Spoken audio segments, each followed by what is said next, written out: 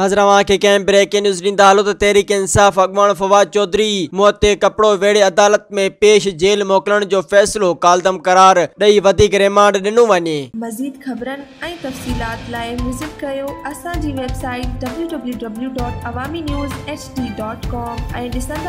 वञे